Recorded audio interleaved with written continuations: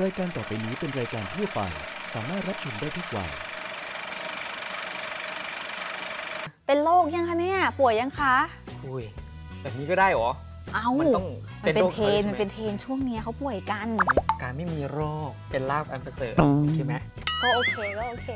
คำต่อมานะครับคือคำว่าคุณหมอนะครับเราใช้คำว่า ဆရာဝန် นะครับหรือบางครั้งก็ออกเสียงเป็น ဆရာဝန် ก็ได้นะครับ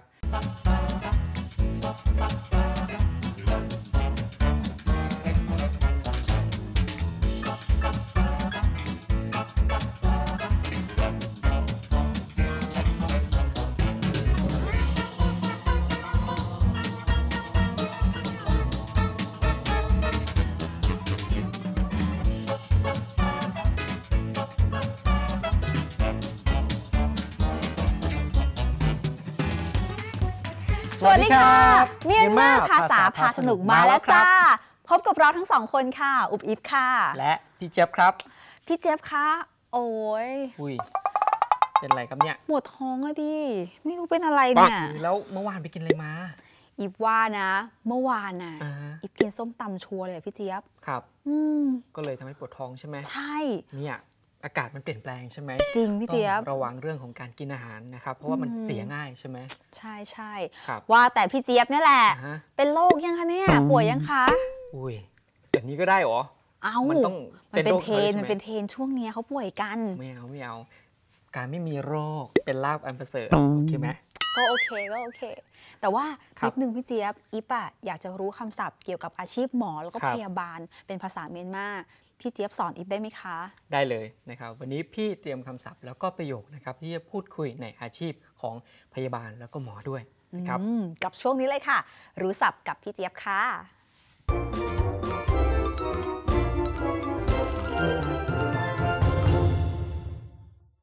เช่นเคยค่ะ รู้ศัพท์กับพี่เจี๊ยบวันนี้นะคะครับอย่างที่บอกไปว่าเราจะมาเรียนรู้ค่ะคำศัพท์ที่เกี่ยวกับอาชีพคุณหมอแล้วก็พยาบาล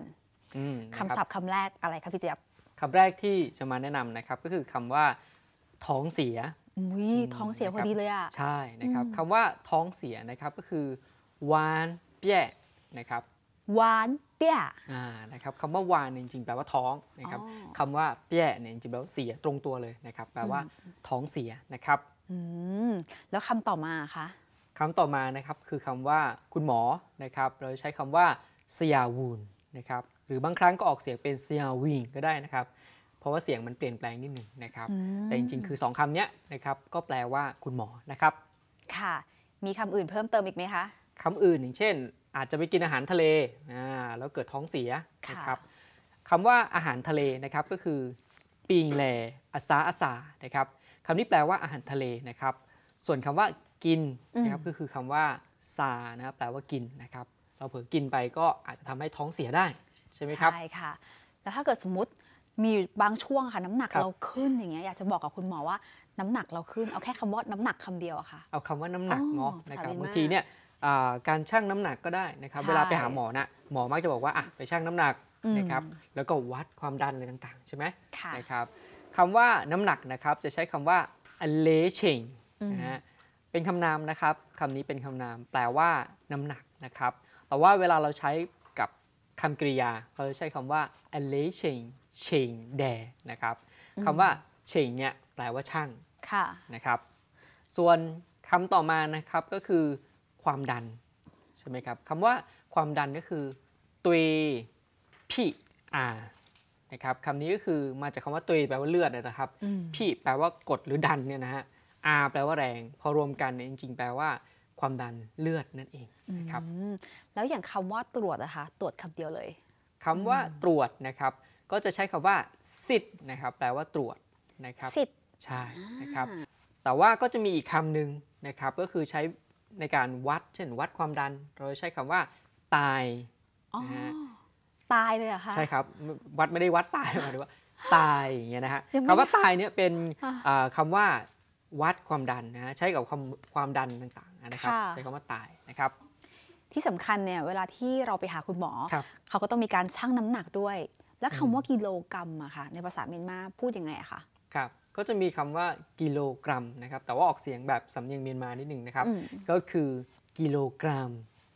กิโลกรัมอ่านะคเสียรังแบบนี้ใช่ไหมจคะกล้องๆหน่อยกรันะมฮะโอ้กิโลกรัมนะครับดีค่ะก็แปลว่ากิโลกรัมนั่นแหละนะครับอ่าเป็นหน่วยวัดนะครับ หน่วยบอกปริมาณนะครับค่ะ แล้วก็ต่อไปค่ะครับ เป็น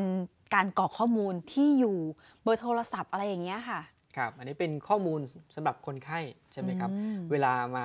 รักษาที่โรงพยาบาลจะต้องมีข้อมูลพวกนี้ใช่แล้วนะครับคำว่าแซะตัวนายเดดูนาเมนะครับก็คือชื่อผู้ที่สามารถติดต่อได้นั่นเองนะครับ และทั้งหมดนี้นะคะเป็นคำศัพท์ที่พี่เจี๊ยบนำมาฝากเราในวันนี้นั่นเองค่ะ ส่วนตอนนี้ค่ะอิฟมีบทสนทนานะคะ มาให้คุณผู้ชมได้ชมกันด้วยค่ะ กับช่วงนี้เลยค่ะ พูดจาภาษาเมียนมาค่ะ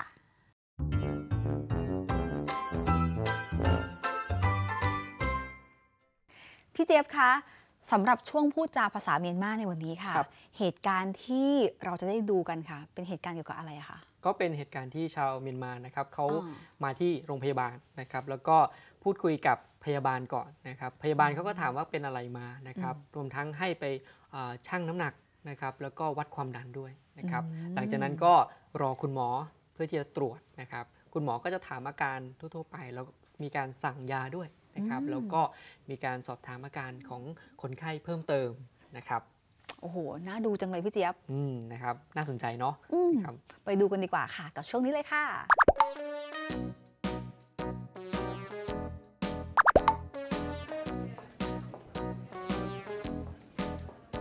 บะพิดลาบาตันแลยิมะเลจะมากะปิงแหล่อาซาสาซาบีวางแป้บาแดชินแบนักขาวางแป้ตันแลชินเลขาชิบาบีดาโซยิงอเลเชงแน่ตัวปองเชงโกซิดองแม่เนาะโฮแซมาตัวปองเชงซิดบีอเลเชงโกเชงบาเนาะ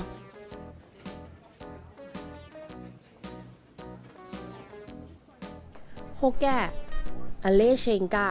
เลสชิกิโลกรัมบาตัวปองจาดอตยาแน่ คุณสโกบายิมเลนาแม่เบโลคอบาตะแล เบมาเนแล พงนำบัดแน่ซตตัวนายแดตูนาแมโก เยเปบาโฮแกบาเซียมายิมเลมา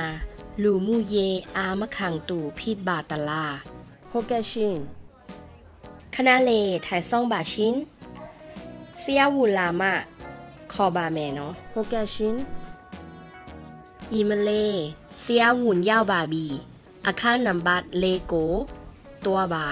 ดีลูนาแย่อาแชะแลโก อยู่ตัวย่ามาลา อยู่ตัวบา บิดอเซียวุนกาซิดบี မှတ်တမ်းတင်ထားပါမယ်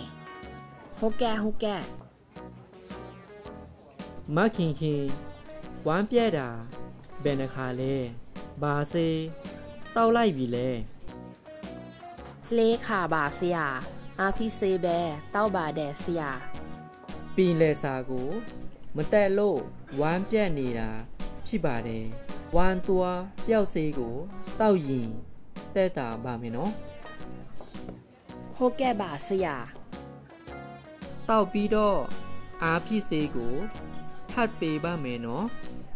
ရေနွေနဲ့ယော်ပြီးတစ်ဖြည်းဖြည်းတောက်ပါနော်ရပါတယ်ဆရာဂျေဆုအမယာကြီးတင်ပါတယ်သူနာပြုမှာဒီမတန်ပြင်ပေးပါနော်ပိုက်ဆံရှင်ပြီးစေကိုထုတ်ယူလို့ရပါတယ် พี่เจี๊ยบคะ เป็นเหตุการณ์ที่อาจจะเกิดขึ้นในชีวิตของเราก็ได้ ใช่แล้วนะครับ สำเนียงดีมากเลยพี่เจี๊ยบครับแต่เช่นเคยค่ะ อีกฝั่งไม่รู้เรื่องเลยอะอ่าพี่เจี๊ยบช่วยแปลให้อีกฝั่งได้ไหมคะ ประโยคแรกเลยค่ะรับในนั้นก็จะเป็นอาการทั่ว ๆ ไปที่อาจจะต้องเกิดกับเรานะครับ บางทีเราไปทานอาหารมาแล้วเกิดแบบอาหารเป็นพิษท้องค่ะเสียใช่ไหมครับ ในบทสนทนาที่ให้ชมเนี่ยนะครับมันก็จะเป็นเรื่องของการที่คนไข้อะนะครับเข้ามาแล้วก็มาพบกับพยาบาล แล้วพยาบาลก็มีการถามว่าเขาเป็นอะไรมานะครับโดยที่พยาบาลนะนะครับเขาก็พูดว่าอ่าเป็นอะไรมาคะน้องสาวอ่านะครับเขาก็จะพูดอย่างเงี้ยนะครับบาพิดลาตะแลยิมาเลนะครับอันนี้เป็นประโยคคำถามแล้วก็ตามด้วยคำเรียกนะครับ ก็คือบาพิดลาตะแลเนี่ยแปลว่าเป็นอะไรมานะครับเราก็ตามด้วยคำว่ายิมาเลก็คือน้องสาวอืม นะครับชาวเมียนมานะครับเขาก็บอกว่าเขาเนี่ยท้องเสียนะครับเพราะว่าไปกินอาหารทะเลมานะครับเขาก็พูดอย่างเงี้ยนะครับเขาบอกว่าจะมากะปิงแลอาซาสาซาปีวานเปียปาแดนะครับเขาบอกว่าจะมากะก็คือชั้นเนี่ยนะครับปิงแลอาซาสาคืออาหารทะเลนะครับซาแปลว่ากินค่ะแล้วก็บอกว่าปีวานเปียก็คือ แล้วก็ท้องเสียนะครับแล้วก็จากนั้นนะครับเขาก็ พยาบาลเนี่ยนะฮะก็ถามอีกนะครับค่ะว่าท้องเสียกี่รอบใช่ไหมครับอ๋อเขาก็ถามว่า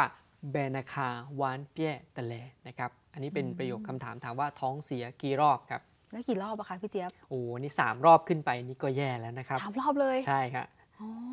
โอเคครับ ทีนี้หลังจากนั้นเนี่ยพยาบาลก็จะบอกว่าให้ไปชั่งน้ำหนักและวัดความดันโอเคอ่านะครับ เอาละนะครับ พยาบาลก็บอกว่าถ้าอย่างนั้นเดี๋ยวไปชั่งน้ำหนักนะครับ แล้วก็เช็คความดันหรือวัดความดันก่อนนะนะครับอืมไปตรงเครื่องเช็คความดันเลยนะโอ้ครับก็คือกรอกข้อมูลเลย ใช่แล้วนะค่ะครับดาโซยีอเลเชงเน่ตุยพี่อาโกซิดองแม่เนาะ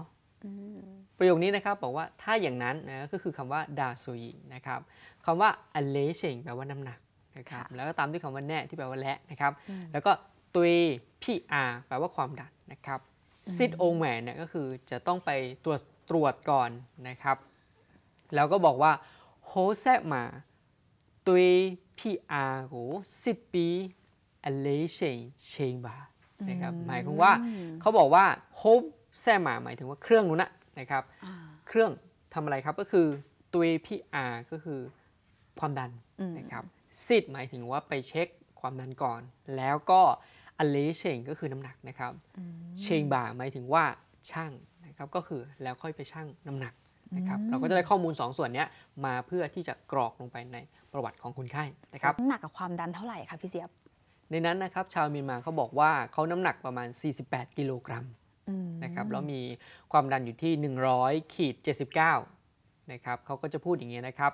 အလေးချိန်က လေးဆယ့်ရှစ် ကီလိုဂရမ်ပါ นะครับ အလေးချိန် คือน้ำหนัก นะครับ ส่วนคำว่า လေးဆယ့်ရှစ် ก็คือ 48 นะครับ แล้วก็กิโลกรัมก็คือคำว่ากิโลกรัมนั่นเองนะครับอ๋อแล้วก็ตามด้วยคำว่าตุยพี่อานะครับ ก็คือความดันนะครับ เขาบอกว่าตยาคือ 100 นะครับค่ะแล้วก็ขีดก็คือคุณสโกนะครับ ก็คือ 79 นะครับ 100 ขีด 79 นะครับ ค่ะแล้วถ้าเกิดจะถามข้อมูลคนไข้เบื้องต้นนะคะ เช่นครับชื่ออะไรอย่างเงี้ยค่ะ เหมือนในที่เราดูกันนะคะครับ เขาพูดอะไรกับพี่เจี๊ยบก็จะมีนะครับว่าประมาณว่าเขาบอกว่าคุณชื่ออะไรใช่ไหมค่ะครับ แล้วก็มีถามว่าอยู่ที่ไหนและเบอร์ติดต่อนะครับ ประโยคแรกนะครับก็คือเขาบอกว่า ညီမလေး နာမည် ဘယ်လိုခေါ်ပါသလဲ นะครับคำว่า ညီမလေး เป็นคำเรียกนะครับแปลว่าค่ะน้องสาวเนี่ยชื่ออะไรอืมนะครับแล้วเขาก็บอกว่า ဘယ်မှာနေလဲ นะครับก็คืออยู่ที่ไหนค่ะนะครับแล้วก็ตามด้วย ဖုန်းနံပါတ်နဲ့ ဆက်သွယ်နိုင်တဲ့သူ နာမည်ကိုเยเปบา นะครับ อันนี้เขาบอกว่าให้ช่วยเขียนอันแรกก็คือว่าอะไรโฟนนัมบัตก็คือเบอร์โทรศัพท์นะครับค่ะแน่และและอะไรครับก็คือชื่อของผู้ที่สามารถติดต่อได้อืมนะครับ ก็เขียนเสร็จนะครับ ชาวเมียนมาเขาก็บอกว่าได้ค่ะคุณพยาบาลนะครับ ก็ดำเนินการตามที่คุณพยาบาลบอกนะครับเขาก็พูดว่าเฮาแก่เสียมะ อย่างเงี้ยนะครับอืมก็ถือว่าได้ความรู้เยอะแยะมากมาครัยบเลยนะคะ ก็เผื่อเอาไว้ ถ้าวันหนึ่งเนี่ยเราไปเที่ยวประเทศเมียนมาแล้วเกิดไม่สบายขึ้นมา จะได้ไปหาคุณหมอได้ ก็สามารถนำความรู้ที่พี่เจี๊ยบมาสอนเราในวันนี้เนี่ยเอาไปใช้ด้วยนะคะใช่แล้ววันี้ครัก็บต้องขอขอบคุณค่ะพี่เจี๊ยบที่มาให้ความรู้อิฟและคุณผู้ชมนะคะ แต่ว่าตอนนี้ครับรายการของเราค่ะอืมเวลาหมดแล้วพี่เจี๊ยบ พบกันใหม่ครั้งหน้านะคะ กับเราทั้งสองคน อุ๊บอิบและพี่เจี๊ยบค่ะ ในรายการเมียนมาภาษาพาสนุกทางช่อง ETV ค่ะ วันนี้เราทั้งสองคนต้องขอตัวลาคุณผู้ชมไปก่อนนะคะ สวัสดีค่ะ สวัสดีครับ